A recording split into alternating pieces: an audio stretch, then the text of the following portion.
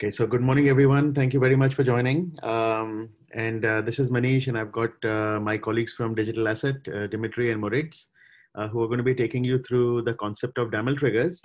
Uh, so DAML triggers, as you may have heard or you've seen in the description of the webinar, is about automating um, automating events uh, on a DAML ledger. So very simply put, if you have a contract that is created, take some action automatically based on that. So if there's a new invoice proposal that has come in, uh, then take some action, maybe send it to verification, notify the party that is uh, responsible for verifying the invoice, uh, etc. automatically uh, using DAML. And, um, and the beauty is, of course, you can do that in DAML now, using DAML now, instead of trying to use, a, use another general purpose language and uh, which sits on top of the ledger.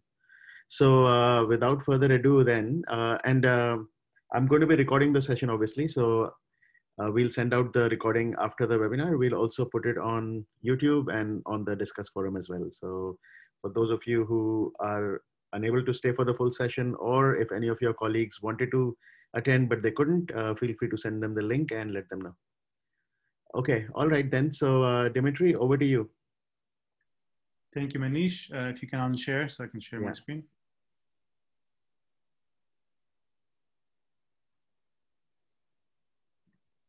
Okay, so uh, I guess you, uh, Manish, you did uh, already make an intro, so I'm not going to bore uh, the audience with uh, more slides.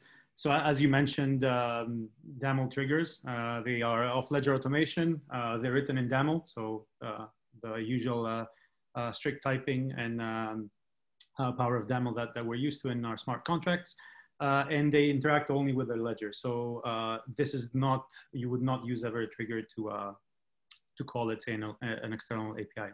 Uh, so you would you use it for uh, simple uh, automation and syncing uh, tasks uh, that are that are triggered uh, off ledger. so why? what's the motivation behind them? we feel that there's a lot less friction when things are in DAML. both the models are in DAML and the automation is in DAML. given that you don't have to tra translate all these data payloads, you know, to JSON back and forth or to whatever other binding you have chosen. Uh, and there's less code duplication as well in terms of checking things, right? So you, you could leverage the ensures and the, um, and the assertion that DAML uh, provides you uh, straight out of the model instead of, uh, instead of uh, having to write some of that logic on your, on your client. Uh, and last but not least, there's a fairly straightforward interface with a few functions that you can define that let you keep user-defined state updated, some rules on, on you know, if this, then that. Uh, signal um, uh, set up your hook up your triggers to specific uh, template events, and then also the ability to fire things on a timer, which is that heartbeat that you see here at the last line. So without further ado, let's let's see like a hands-on example basically of this. And again, uh, if you have a question, feel free to post it on the Q&A section uh, or just uh, raise your hand and we'll, we'll, answer a few at the end of this.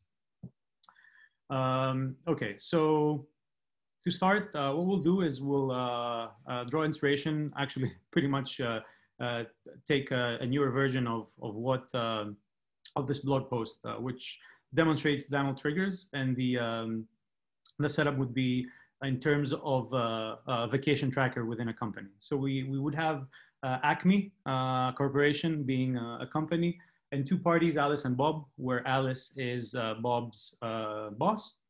Uh, and uh, Bob basically signs their employee contract with a company that uh, gives them some sort of vacation allocation. and then Bob is requesting vacation days from his boss, Alice. Now, Alice, because she's in a good mood, she'll have a trigger to auto accept any vacation request that, that Bob makes, as long as uh, that vacation uh, is not uh, is is um, below the allocated days. Uh, you can we'll have this uh, link on this uh, blog post which describes this thing in more detail for everyone who's interested, and we'll, we'll share the, the link at the end of this webinar as well. so let's jump into the to the code. I'll, I'll launch VS Code here, and I'll resize it. So what we have is, uh, we have this model, uh, simple model. There are three templates. There's this agreement between the employee and the company that defines how many uh, vacation days are remaining for this employee at this company with this boss. Uh, this uh, contract is created through a proposal contract. So this is the contract, the proposal contract that essentially creates this uh, agreement. Uh, and then uh, the employee can issue vacation requests that are uh, then accepted from the boss and turned into vacation contracts. and to drive this thing, to, just to see what, what it looks like, we do have a vacation allocation that um, employee Bob has. Uh, they, he has 29 remaining days uh, because he requested a vacation uh, from Alice, which was approved uh, manually in this case, in this scenario by Alice, uh, for August um, 12th, so for tomorrow. now, what we want to do is we want to write this auto accept trigger so that Alice doesn't have to manually see each vacation request and um, and accept it. So if I just want to show you this vacation request, which was archived and it's here and it was translated into this uh, vacation contract. Um, so to do that, we'll uh, write a trigger. And to, to, write a trigger, what we need is a simple, uh, it's just a DAML file. Um, so I'll just put it here. Uh, and we need to implement uh, this interface. So this interface is nothing but uh, a few set of functions. the first one is um, a function that's called upon running the trigger once. and this gives us a chance to read from the ACS. The ACS is basically the active contract set that this party can, uh, can see and define uh, and, and hydrate, let's say, prepare a user state, which could be anything. We denote this by, by S. Uh, then each uh, message that comes in, whether it's a transaction or a command completion, uh, triggers this update state and gives us the opportunity to uh, combine anything that's in the active contract state plus this message we received uh, in our existing state uh, to update our next user state. Uh, then we have this rule, which is the meat basically of this of the of the trigger, which is um, run by a specific party. Uh, it has access to the ACS. It has access to the existing time in case we want to do anything time uh, related. Uh, and it gives us a set of in-flight commands. So commands that we have already submitted on the ledger, but haven't heard the completion back yet and our user-defined state, obviously.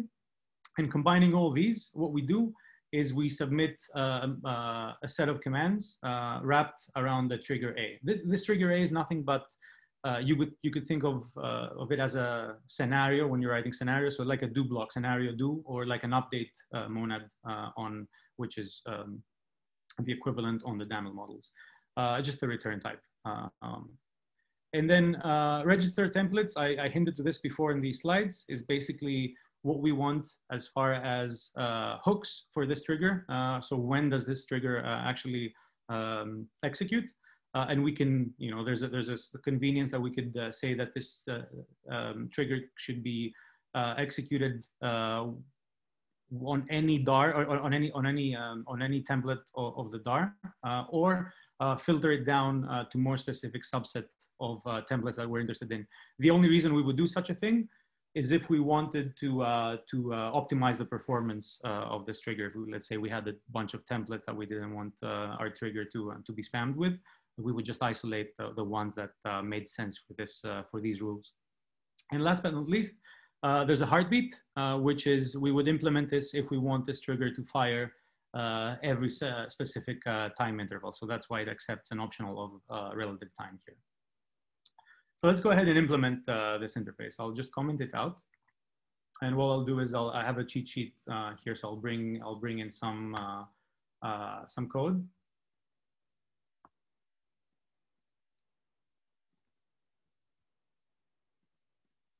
And I will do the proper inputs and implement the interface. Uh, and basically the initialize uh, function is uh, is an OOP, uh, which says that we don't really need um, we don't really need a user state. That's why we've replaced s here with uh, with unit. Uh, I'm getting a linter um, I'm getting a linter suggestion here that because I have an OOP, I could use const here, which I'll actually do.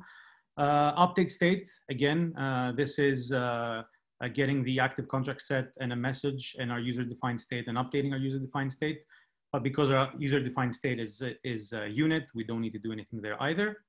Uh, for register templates, uh, we could uh, have, we filtered it down just to vacation requests because this is what we would uh, uh, want to um, respond to, but we could also uh, remove this and just have something that's called all in dar uh, so that we, uh, our trigger responds to, to everything.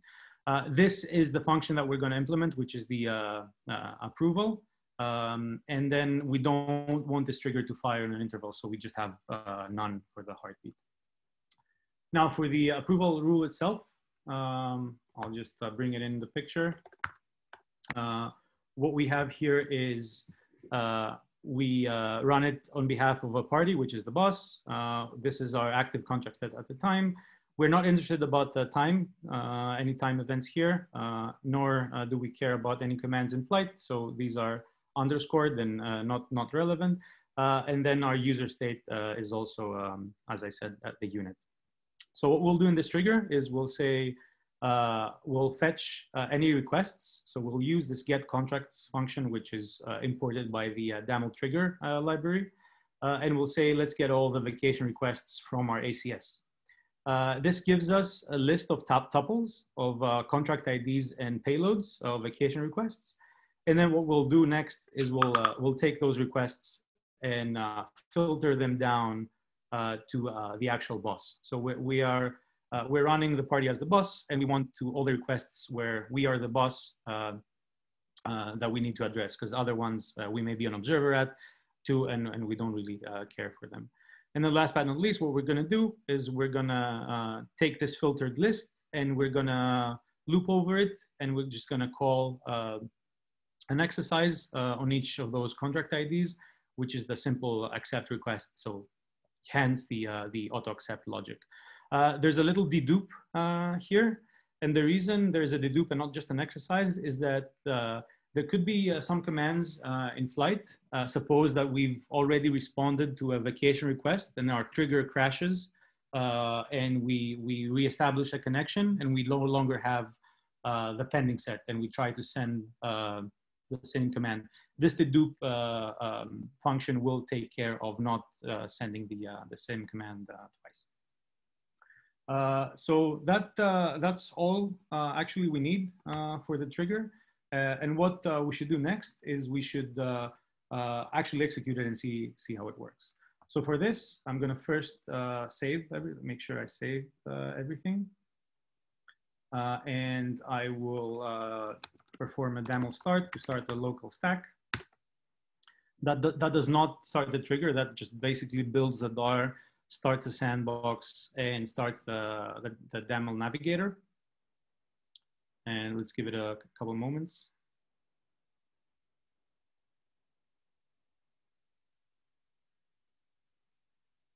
Okay, uh, so we have this thing uh, running. And on a different tab, uh, what we'll do is we'll start the, uh, the DAML trigger that we just built. So uh, we do this by issuing a command, which is referencing the uh, uh, vacation trigger DAR that we just compiled. Uh, we have a trigger name, which is called autoapprove uh, trigger, which is basically this trigger here, and it lives under the DAML trigger directory. it's connecting to our local host and port, which is where the sandbox is running. And it's running as Alice, which is the boss of Bob and the manager in the Acme company. So I will run this.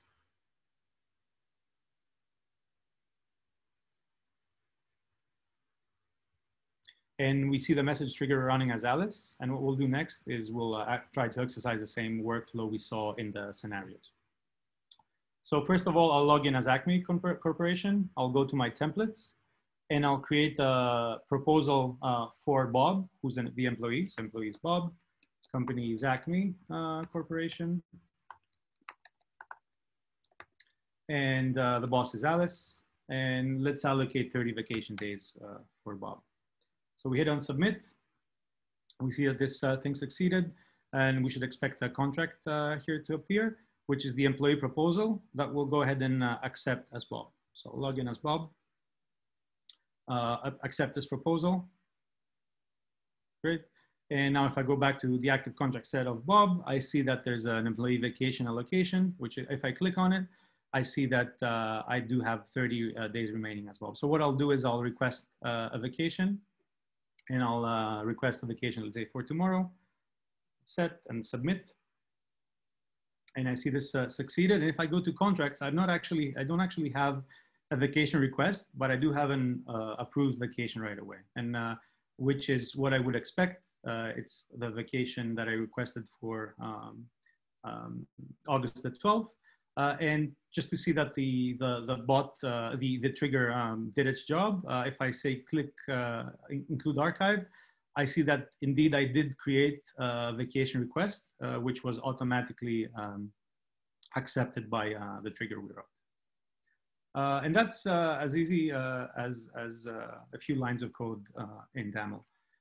now, there is a little, um, like a little gotcha basically here. And the reason is that if we want to expand the logic of this trigger, uh, we end up uh, writing uh, more, more logic here in, this, in this file. And then once we recompile this dar, the dar changes the hash, which the hash is basically this string after the at sign. Uh, which means that if we have a long uh, running ledger of a DAML model and we just change the automation logic, the automation logic won't be able to talk uh, to our DAML model. So a good practice for running a trigger is actually keeping decoupling the model uh, and the trigger on separate DARs. Uh, and that's what we'll uh, demonstrate uh, next. So uh, suppose I wanted to uh, change the, the body of this choice, of, of this, sorry, the body of this trigger here. And I'd like to use, instead of the dedupe exercise, I want to use a new, newer um, function, which is called emit command. Uh, I could do the change here, but I'll prefer to do it in a separate DAR and just import uh, this DAR uh, here. So what I'll do is I'll uh, quit my trigger. I'll switch tabs and I'll just issue a, new command, which I'll call a new project, uh, which I'll call uh, standalone trigger. And this just creates a new um, a new um, uh, project, which I'll go and I'll launch uh, my ID for. And uh, I'll just need to do some uh, cleanup work before I, uh, I add my the trigger file here. So what I'll do first is I don't really need any sort of setup. I'll delete this file. on my main, I also don't need any of that logic. And on my daml.yaml, uh, what I'll need to do is uh, I will need to uh, add the daml trigger dependency. So I'll remove the script that I don't need to change it to daml trigger. So daml, daml uh, trigger here. Uh, and uh, I'll also import the, the DAR that contains my model. So by doing this, they happen to be on the same directory. So this is like a relative path. My vacation tracker or my vacation trigger .dar. So this is what I will need to do on my daml.yaml file. And then on my main, uh, what I'll do is I'll uh, uh, paste uh, this uh, um, pretty much the same uh, trigger logic that I had that I had before. And I'll give it a refresh just because I did an import and I want this um, VS Code to understand what I'm importing here. and again, I have this linter suggestion that I can get rid of. Okay, uh, and as you can see here, I've uh, slightly changed the uh, logic of the, um, the body of the trigger. Uh, the logic remains the same, it's just the implementation is different. So what I'm doing here instead is I'm saying that um, uh, from, the, uh, from the requests that are filtered for this boss, uh, let's go ahead and just uh, keep the contract IDs. So this is just a list of uh, contract IDs of vacation requests. Uh, then I'm gonna create a list of commands. So for each of those contract IDs, I'm gonna call, uh, I'm gonna exercise the accept request. So I have a list of commands. And then unless my commands are void, so unless I don't have any empty, like any commands to send, I'll call this thing called emit commands, which will accept my commands and will also um, accept a list of uh, uh, contract IDs. And the reason for this argument here, it may be a bit confusing to begin with, but this is what I am marking as in flight. So this is a, a, a convenience, uh, a convenient way of saying that because I'm sending this set of commands, uh, the next time that I'm going to do a get uh, here, these commands are going to be these contracts are going to be filtered out from the get. So I will never submit um, a set of commands that are doing the same, uh, operating on the same uh, contract ID. So this is also handled uh, on the DAML trigger library itself. Um, so I've changed my logic. I've imported my DAML uh, model. Um, and what I'll do next is just build this thing and run it against the uh, long running sandbox that I haven't, uh, I still have running here. Um, so I'll save and I'll go to my, uh, to my trigger code. I'll do a DAML build. My trigger built. And what I'll do next is I'll issue a very similar command uh, to the one I used to run the previous trigger. Uh, but instead now I'm referencing the actual standalone trigger DAR. So I'm not referencing, oops, I'm not referencing the model DAR. I'm referencing my uh, trigger DAR. Uh, my trigger name is uh, under main now, auto approve trigger, which is this main uh, auto trigger. and again, I'm connecting to the same sandbox and I'm doing this as Alice. So I'm, I'll run this.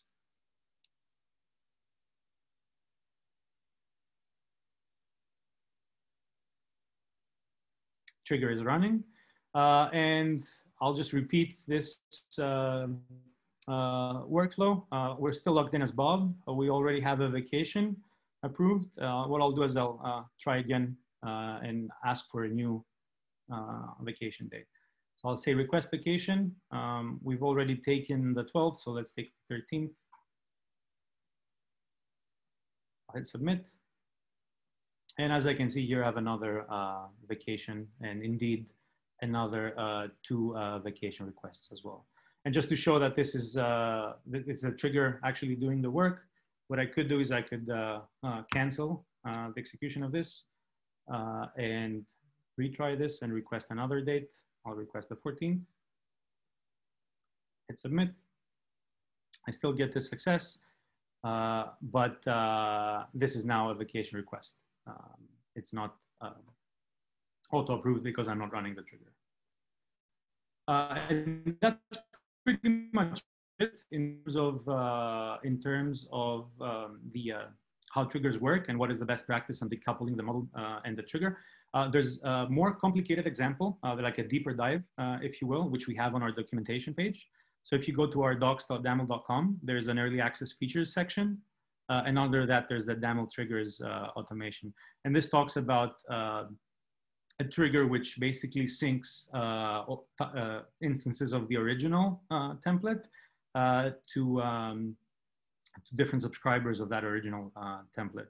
It's slightly more involved logic, but gives you a better understanding of, of the power that triggers offer. And then last but not least, there's this um, library for triggers which does have all the uh, get contracts and dedupe uh, functions that I uh, demonstrated, as well as this submit commands uh, function that we, uh, that we used on our uh, decoupled example. and I've also have these links here. I'll just make them full screen so they get recorded and um, for anyone to go and explore later. And we also have this ready to go example, um, which is straight off the uh, DAML CLI. So instead of just doing DAML new my example, I could do DAML new my example and add this copy trigger. And this will instantiate a skeleton project based off of the uh, copy trigger logic. So it will give me a, uh, this copy trigger that's on the documentation, which I could just go ahead and run or modify according to my, uh, uh, to my needs. Uh, and that should sum up the, um, the webinar for today. If you guys have questions, uh, we'd love to hear them. Uh, and as Manish said, this is going to be recorded, so uh, we will set, share the link so you guys can take your time and follow along this example on the recorded version. Yeah, thank you so much, Dimitri. Also, uh, just so everybody knows, we'll probably be covering in the next coming weeks, we'll be covering how to use DAML triggers on Project DABL, um, which is, you know, which many of you may be using. Uh, so we'll do a session on that, and we may also be doing a will also probably be doing a session on um, on using triggers uh, on a on a DLT, you know, such as a when on a sawtooth instance, or or how do you do it when it's on when it's your own instance of daml on postgres uh, on maybe on the cloud. So we'll cover some of those topics. They should be straightforward but it helps to uh, you know just go through a tutorial like this.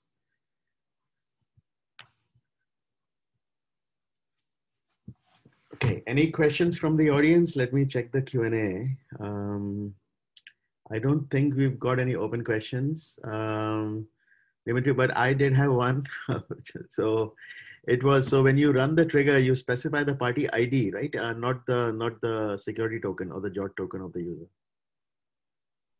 Yes, in this case, we, we did a local run against localhost and Yeah. our parties are um, human readable strings. Uh, Yeah. But I guess if this were running on a, on a production setup and no lo- lo- not localhost, these would be uh, ledger party IDs.